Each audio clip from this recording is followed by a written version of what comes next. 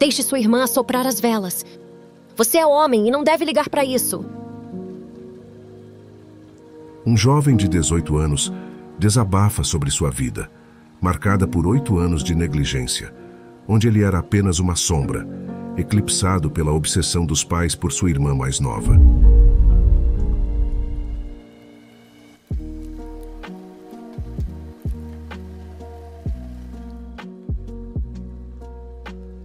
Meus pais fizeram de cada aniversário um evento centrado na minha irmã nos últimos oito anos. Recentemente, vi uma história semelhante postada online e percebi que tinha que contar a minha própria. Este será meu único post no Reddit. Estou compartilhando porque achei que contar me ajudaria a me sentir um pouco melhor. Fui a algumas sessões de terapia, e falar sobre isso em particular realmente ajudou. Então, pensei por que não compartilhar também online. E é isso que estou fazendo. Tenho 18 anos este ano e estou relativamente independente dos meus pais. Tenho uma irmã cerca de 10 anos mais nova do que eu. Ela foi uma gravidez não planejada e quase não chegou ao termo. Não sei muitos detalhes sobre o quão difícil foi a segunda gravidez da minha mãe, pois nunca me contaram muito. Mas sei que foi tão difícil para o corpo dela que minha mãe não pôde mais ter filhos depois que minha irmã nasceu. Ela passou por várias internações hospitalares naquele ano. Minha mãe quase não sobreviveu ao parto também. Isso fez com que ela e meu pai se apegassem à minha irmã, pois ela poderia nunca ter nascido. E desde então, eu me senti como apenas a outra criança da casa, exceto quando precisavam de mim como babá gratuita. O nível de favoritismo que meus pais mostraram a longo prazo me faz acreditar que eles estavam realmente doentes por não perceberem exatamente o que isso estava fazendo comigo. E agora está tendo um impacto negativo sobre eles, o que explicarei a seguir. A partir do meu 11 aniversário, meus pais queriam que eu deixasse minha irmã apagar as velas do meu bolo, já que ela tinha dois anos e chorava ao ver um bolo de aniversário que não era o dela. Eu não queria fazer isso, mas meus pais me obrigaram. Eles acenderam as velas novamente para que eu as apagasse depois dela. Mas o momento ficou completamente arruinado. A mesma coisa aconteceu no ano seguinte, e no ano seguinte, e assim por diante. Eles apenas continuaram forçando até que se tornou a norma minha irmã também tinha que ganhar presentes nos meus aniversários. Eu nunca ganhava presentes nos dela. E quando perguntei por quê, eles simplesmente me disseram que eu era um menino e que meninos não precisavam se preocupar tanto com isso. Eu sei que eu era uma criança, mas eles realmente achavam que isso era uma coisa inteligente a dizer? Na verdade, não. E meus pais sempre escolhiam um local que minha irmã gostaria mais de estar do que eu no meu próprio aniversário. Eventualmente, parecia que minha irmã estava tendo dois aniversários por ano, e eu não tinha nenhum. Além disso, meus pais fizeram suas vidas girarem inteiramente em torno da minha irmã. Se eu quisesse fazer algo, minha irmã também tinha que querer fazer. Caso contrário, era vetado, a menos que eu pudesse fazer sozinho. Aprendi a me trancar no meu quarto com meus videogames porque eles não pareciam me incomodar lá, a menos que minha irmã quisesse entrar e me perturbar. Por isso, coloquei uma tranca na porta. Meus pais queriam que eu a removesse. Mas surtei porque era um adolescente irritado cansado de ter minha privacidade invadida a qualquer momento. Minha irmã entrou mais de uma vez quando eu não estava vestido. E meus pais ficaram chateados comigo por estar nu, no meu próprio quarto. Quando apontei o quão absurdo era, eles retiraram a objeção e me deixaram manter a tranca. Minha irmã desenvolveu um verdadeiro complexo de princesa devido ao excesso de mimos que recebia diariamente. Ela era muito exigente, então eu evitava o máximo que podia. Encontrava qualquer desculpa para não ter que lidar com ela, mesmo que tivesse que inventar desculpas só para ter um tempo para mim. Meus pais contrataram uma babá adolescente e eu consegui mais tempo pessoal. No entanto, a babá desistiu porque minha irmã não obedecia e meus pais tentaram evitar pagar, dizendo que ela fez um trabalho ruim. A garota envolveu outras pessoas e meus pais finalmente a pagaram pelo que deviam. Depois, eles contrataram outra garota para tomar conta regularmente, e essa ficou. Mas meus pais deixaram claro que eu deveria cuidar da minha irmã sempre que tivesse algum tempo livre, o que eu tentava evitar ao máximo, muitas vezes aceitando um emprego de meio período para me manter ocupado. Minha irmã me tratava como seu mordomo pessoal e me dava ordens. Ela até tinha um apelido bobo para mim que não parava de usar. Só de ouvir esse apelido meu sangue fervia. E se eu não desse a ela tudo o que queria, ela chorava e chamava nossos pais. E então eu estava em apuros por maltratá-la. Tivemos muitas discussões enormes por causa disso. E depois de me recusar a ceder mais, meu relacionamento com meus pais se deteriorou a ponto de quase não trocarmos palavras por um tempo. E ainda, durante minha formatura do ensino médio, eles tiveram a coragem de se gabar para outros pais de que eram a razão pela qual eu trabalhava tão duro. Bem, eles não estavam errados. Mas a razão que eles tinham em mente não era que realmente aconteceu. Eu trabalhei duro apenas aguardando pelo momento em que estaria livre dos meus pais. Mas meus pais agiram como se tivessem feito muito por mim. Talvez tenham feito antes do nascimento da minha irmã, mas depois, tudo era sobre ela. Eles nem mesmo me perguntavam sobre a escola até as conferências de pais e professores. Eu me formei com uma média de notas B e C. E depois da minha formatura, meus pais me levaram a algum lugar onde minha irmã sempre se divertiria mais do que eu, mesmo que a viagem fosse supostamente para mim. No entanto, no meu 18º aniversário em julho, as coisas realmente atingiram o ápice. Mesmo sendo meu 18º aniversário, não parecia ser sobre mim de jeito nenhum. Eu tinha esperança de que iríamos ao meu restaurante favorito, pelo menos uma vez, mas não, eles fizeram a festa em um local semelhante ao restaurante local. Era o único lugar do tipo perto de nós, então se tornou o destino padrão para qualquer comemoração. Incluindo minha formatura do ensino médio.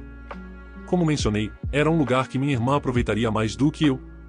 Eu estava cercado por crianças com metade da minha idade tendo festas, e eu estava tão entediado, sem nada para fazer além de comer pizza medíocre, e jogar em máquinas de pegar brinquedos e jogos de fliperama ultrapassados, por tickets para prêmios baratos que não me traziam alegria. Então, na hora do bolo, meus pais trouxeram um bolo rosa com flores brancas. Claro, tinha meu nome nele, mas era claramente um bolo de menina e só tinha 10 velas. Meus pais acenderam as velas e colocaram o bolo na frente da minha irmã para ela apagar. Foi quando finalmente aconteceu. Tive uma explosão mental em que toda a raiva acumulada passou por mim, e comecei a chorar feio. Eu, um garoto de 18 anos, estava chorando na frente de toda a família. Todos ficaram tão chocados que o tempo pareceu congelar.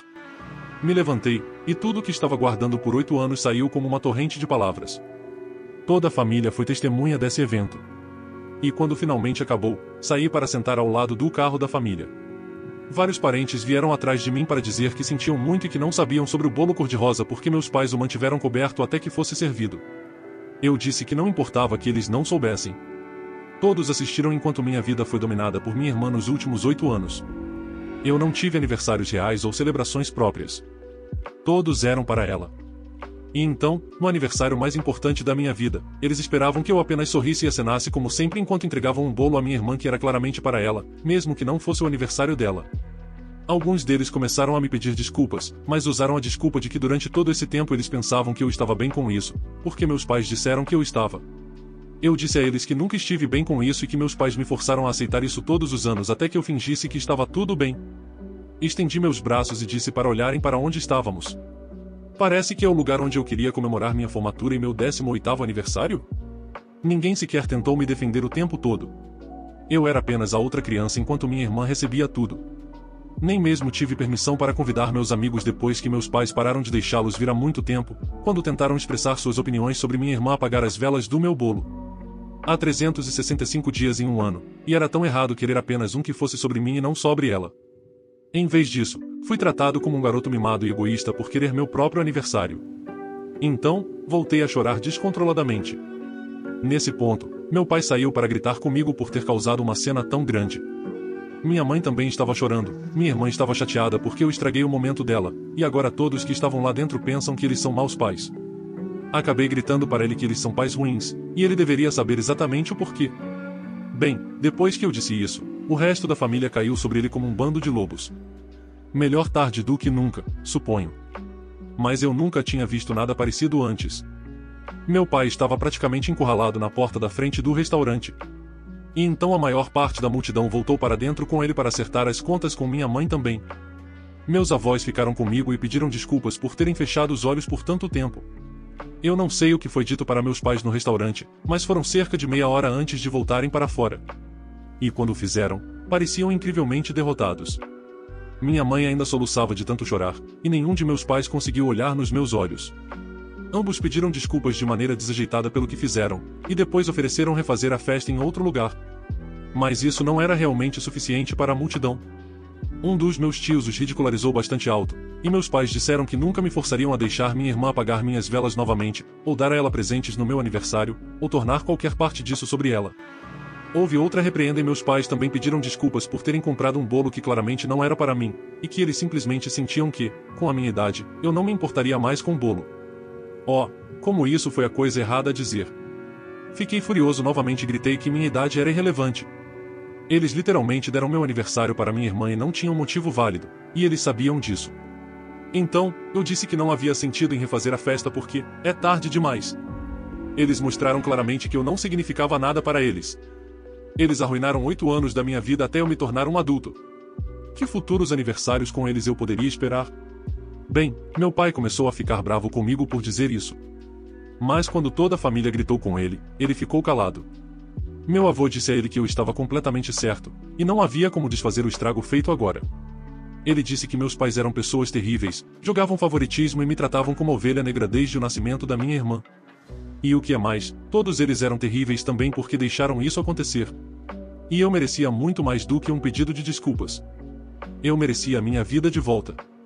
Minha mãe quebrou de novo e tentou se aproximar de mim enquanto chorava meu nome e se desculpava. Mas eu recusei deixá-la chegar perto de mim. E metade da família a bloqueou para que não chegasse perto. Eu apenas disse que não conseguia suportar mais isso e comecei a me afastar. Uma das minhas tias me alcançou e me trouxe de volta. Eu podia ouvir vários membros da família gritando e xingando meus pais pelo que aconteceu. Mas eu estava tão chateado que nem conseguia sentir alegria por um pouco de justiça depois de todo esse tempo. Além disso, onde estava minha irmã quando tudo isso estava acontecendo? Ela ainda estava no restaurante, sozinha, comendo bolo e abrindo presentes que estavam lá para mim. E se alguém estava se perguntando, sim, meus pais a serviram com bolo depois que eu chorei e saí. Você pensaria que fazer isso não seria seu foco principal no momento, mas eles foram criticados por isso mais tarde. Meus avós me acalmaram e me fizeram sentar na velha minivan deles enquanto todos os outros saíam da festa. Minha irmã teve um grande acesso de raiva depois de ser pega abrindo meus presentes. Um dos quais era um smartphone novinho em folha que ela jogou contra a parede e quebrou porque não estava autorizada a ficar com ele. Ela literalmente ganhou um smartphone novinho no aniversário dela alguns meses antes. Eu acabei tão chateado que desabafei que nunca mais queria comemorar meu aniversário. E meus avós me deixaram passar a noite na casa deles. Quando voltei para casa, ainda não falei com meus pais.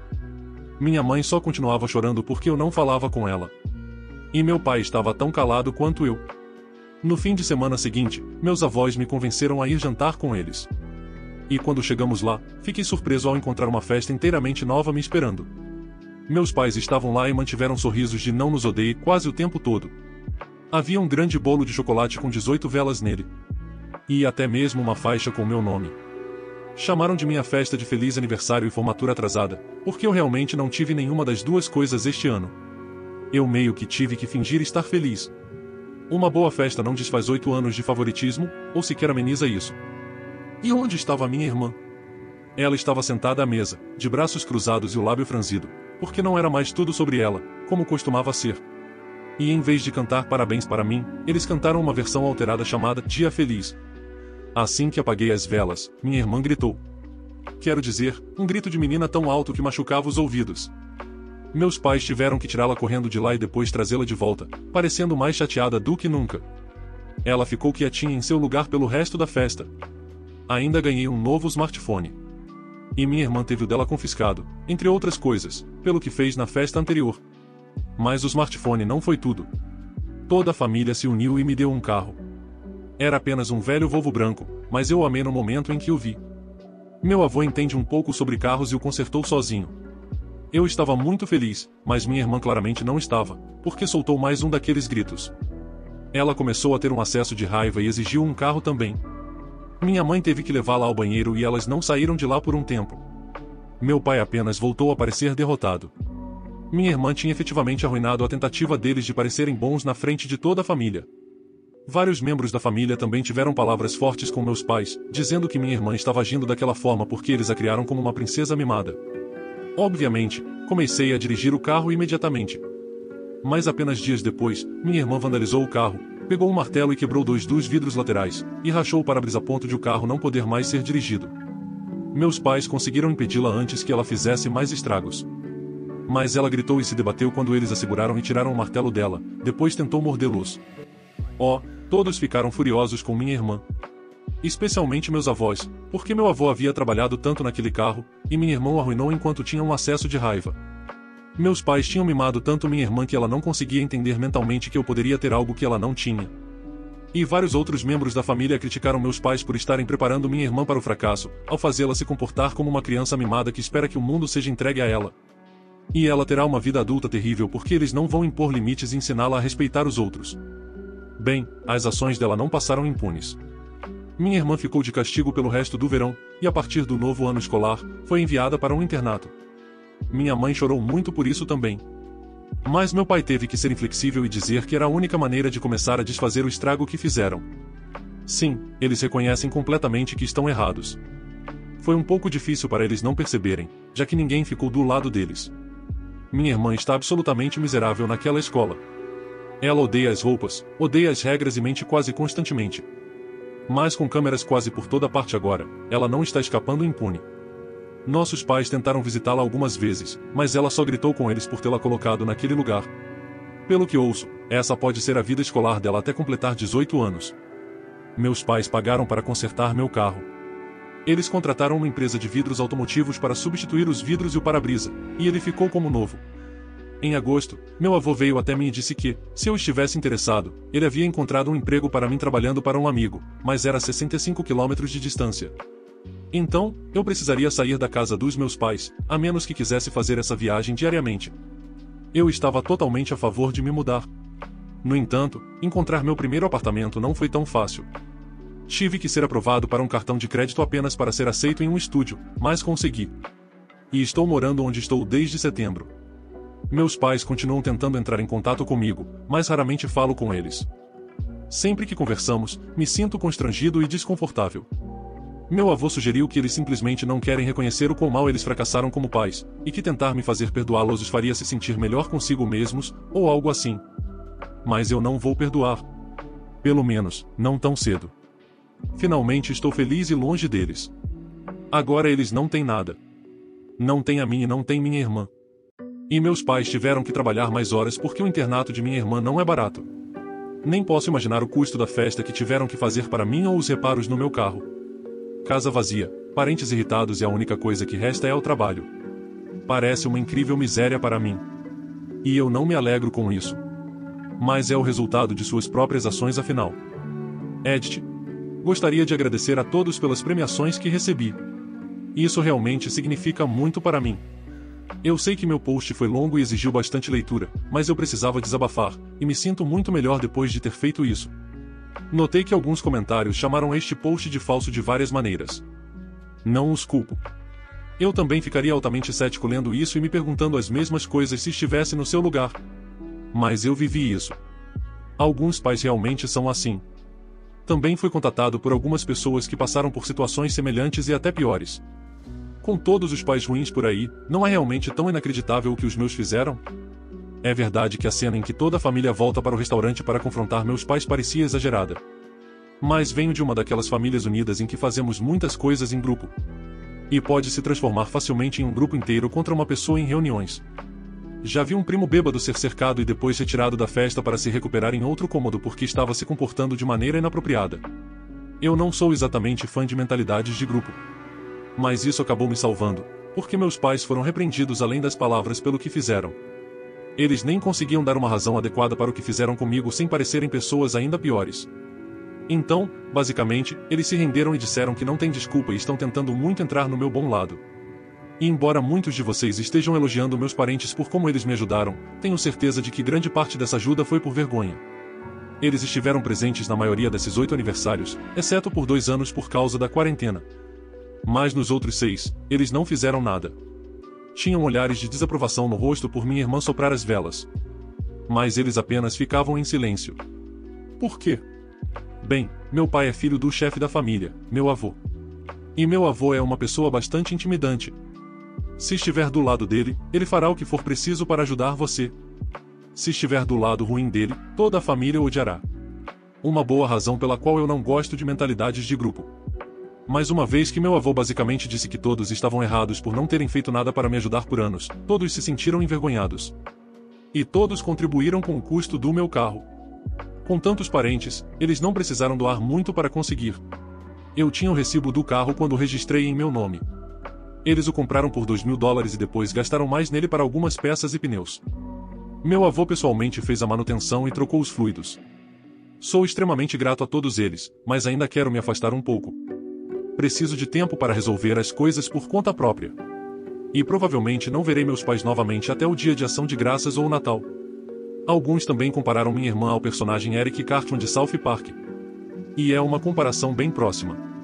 Minha irmã é gordinha porque meus pais a alimentaram com muita comida de fast food. Ela odeia comer coisas saudáveis. Uma vez, a vi colocar gomas de ursinho em purê de batata. Só de pensar em comer essa combinação me faz passar mal. Sua dieta pobre também a faz passar longos períodos no banheiro. Meus pais tiveram que comprar lanches ricos em fibras para ela, só para remediar isso. E acho que não eram baratos, pois precisavam ser gostosos. Minha irmã também é extremamente mandona e gosta de se sentir no controle. Ela vivia me dando ordens, o que é porque eu frequentemente me trancava no meu quarto para fugir dela. Ela perdeu muitos amigos por ser tão autoritária e controladora. E meus pais apenas diziam a ela que as outras crianças tinham inveja de como ela era especial. Minha irmã até se referia a si mesma como uma princesa com frequência. E os acessos de raiva que ela tinha quando não conseguia o que queria me lembram Eric Cartman. Sei que minha irmã não é burra. Ela não se esforça muito e tinha uma média C na escola. Se ela se esforçasse, provavelmente seria uma aluna nota A. É o clássico tema da criança mimada e dos pais que não são capazes de estabelecer limites. Quão ridículos esses pais podem ser. Eles basicamente permitiram que uma criança mimada comandasse a casa e suas vidas giravam em torno dela, o que é um absurdo e totalmente inaceitável. O que eles não perceberam é que eles arruinaram a infância de seu filho com isso. Eu fico feliz que o autor foi para longe de seus pais e espero que ele nunca mais precise lidar com eles. Se você gostou desse vídeo, demonstre seu apoio ao canal deixando seu like e um comentário. Obrigado por assistir até aqui.